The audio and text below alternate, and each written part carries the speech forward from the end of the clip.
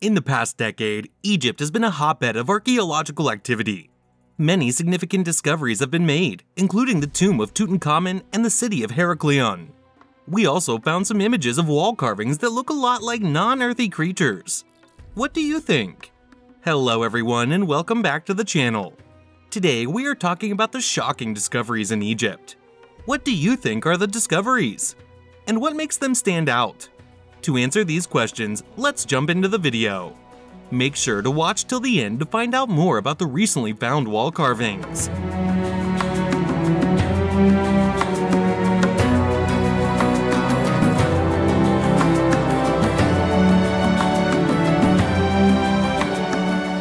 Do you know Egypt was the birthplace of forensic fingerprint powder? You know how they utilized dust powder on CSI to identify the criminal based on their fingerprints?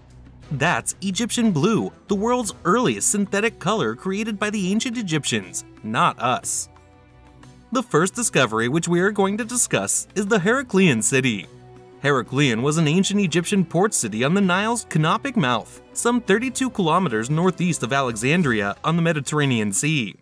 It was swamped, and its remnants are now lying in Abu Qir Bay, 2.5 kilometers off the shore, beneath 30 feet of water near Abu Qir. Thonis housed the shrine of Neith of Sais. A stele discovered on the site suggests that the city was known by both its Egyptian and Greek names at some point in its history. Thonis's fabled origins date back to the 12th century BC and it is recorded by ancient Greek historians. Its significance developed especially during the last days of the pharaohs. Canals connected it to a variety of ports and anchorages.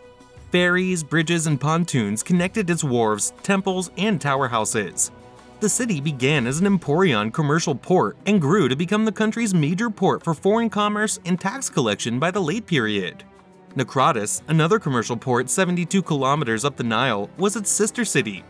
Goods were conveyed inland through Naucratis or across the western lake and a water passage to the adjacent town of Canopus for further distribution. Thonis had a massive temple dedicated to Khonsu, son of Amun, and known as Heracles to the Greeks. Amun worship grew increasingly popular later on. During the 6th and 4th centuries BC, when the city was at its peak, a great temple dedicated to Amun Gereb, the Egyptian supreme deity of the period, stood in the heart of the city. In the 4th century BC, King Nectanebo I built several improvements to the temple. Sanctuaries devoted to Osiris and other deities at Heraklion were famed for miraculous healing and drew travelers from all over the world. Archaeologists discovered traces of the mysteries of Osiris ceremony in Heraklion, which took place each year during the month of Khoiak. The deity was carried in procession from the temple of Amun in that city to his shrine on the Canopus in his ceremonial boat. Alexandria surpassed Thonis, Heraklion, as Egypt's major port in the 2nd century BC, the city was weakened throughout time by a mix of earthquakes, tsunamis, and increasing sea levels. The ground on which the center island of Heraklion was constructed succumbed to soil liquefaction around the end of the 2nd century BC, most likely as a result of a catastrophic flood. The firm clay dissolved quickly and the structures fell into the river. A few people remained throughout the Roman period and the commencement of Arab domination, but by the end of the 7th century AD, Thonis had vanished under the water. Next, let's talk about Khufu's ship. It may come as a surprise, but the discovery of the Khufu ship in 1954 was unplanned. The Khufu ship, one of two recovered by Kamal El Mallakh, is the world's oldest undamaged ship, constructed for King Pharaoh Khufu during the 4th dynasty, circa 2500 BC. The solar spacecraft was uncovered during the cleaning procedure of the Great Pyramids during archaeological investigations in the Giza region.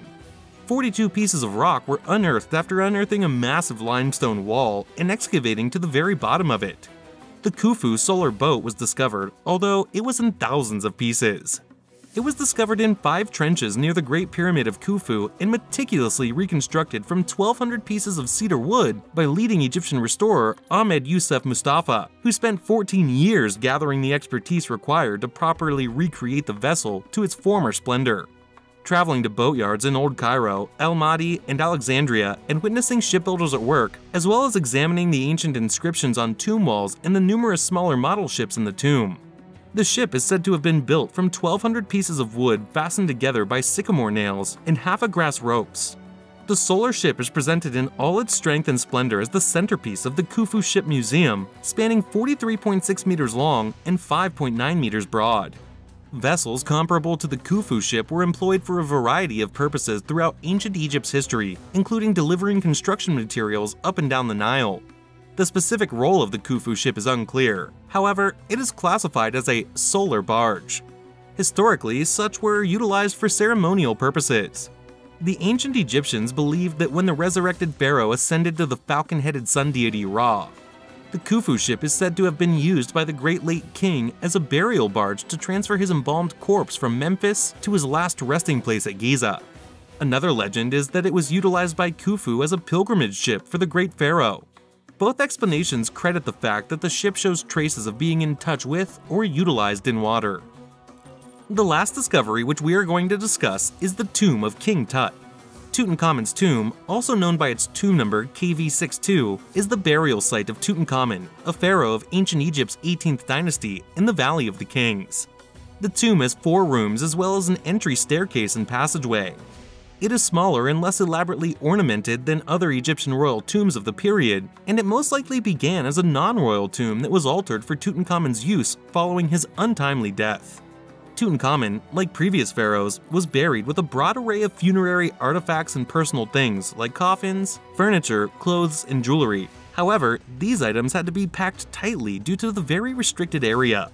Robbers broke into the tomb twice in the years after the burial, but Tutankhamun's mummy and most of the burial artifacts were unharmed. The tomb's low location, cut into the valley floor, enabled debris accumulated by floods and tomb building to conceal its entrance.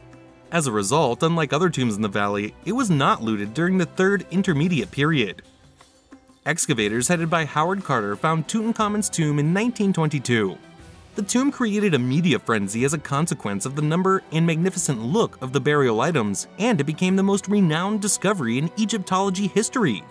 Carter's benefactor, the Earl of Carnarvon, died during the excavation process, sparking rumors that the tomb was cursed.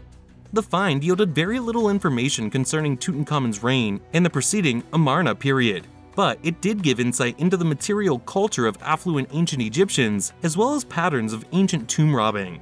Tutankhamun became one of the most well-known pharaohs, and some of his tomb's artifacts, such as his golden funeral mask, are among the most well-known pieces of ancient Egyptian art.